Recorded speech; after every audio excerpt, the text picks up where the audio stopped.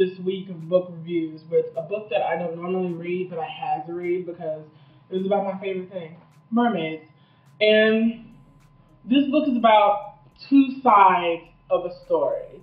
And before you think it, it's not what you think it is. It's, it's, it's, it's a more grown up version of The Little Mermaid. It's about two women who fall in love with the same man, basically. But the first life is Lena's life, and she's the mermaid. She's a princess, and she just turned 18.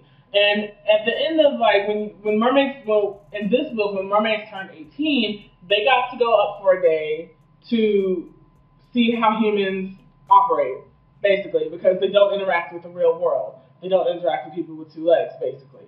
And when Lena gets this opportunity, she sees something surreal, and she ends up saving Prince Christopher from a watery death. That, by the way, was it was eerie and dark and, kind of cool in, in a really neat way.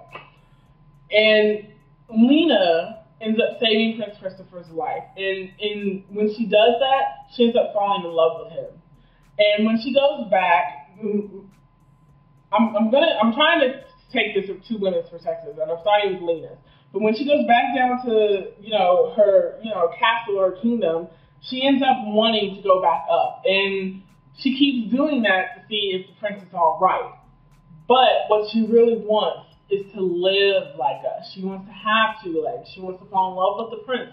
And he wants her to fall in love with him. Now, the evil witch, she really is just that. But she's not somebody who wants her to fail.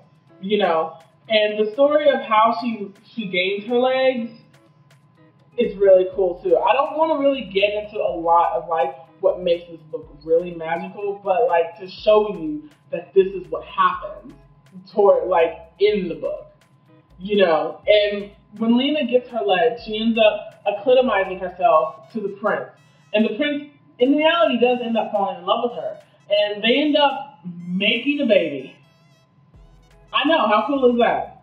And they, but before they can have a happily ever after, there's also another person who comes into play, and her name is Margaret. And I would not say that she is the antagonist of the story, but she is just the person who wanted peace between her kingdoms. When how Margaret met Prince Christopher was actually through Lena, because when Lena saved him, she had she told Margaret to come and help him in. Now Margaret was in because her kingdom was at war. And when the Prince Christopher comes into her life, she ends up falling in love with him before he leaves. And she knows who he is. But she doesn't see, like, she doesn't know that Lena is also in love with him too. And before, like after he leaves, she comes up with this plan of, okay, his father and my father are at war. So, in order to make this possible, I'm going to marry Prince Christopher.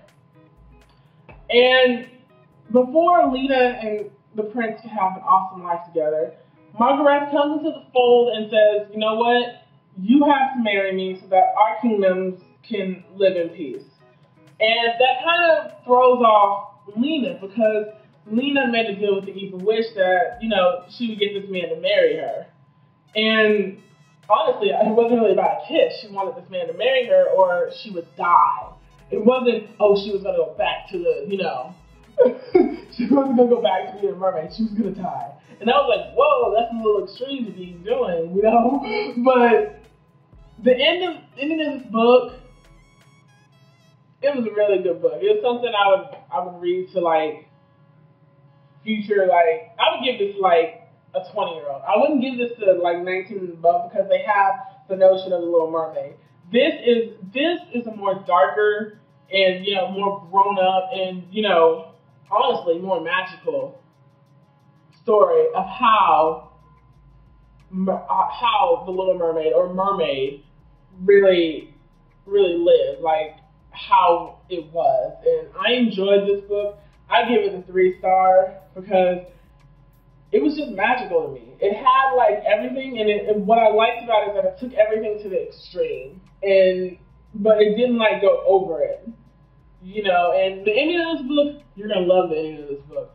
So I'm not to even get into any of this book, but it's actually it's, it's really beautiful. It's it's like a play. You know, I think they should turn this into like a movie because it would have been that good. But this book is called Mermaid by Carolyn. Go out, go read it. Tell me what you think.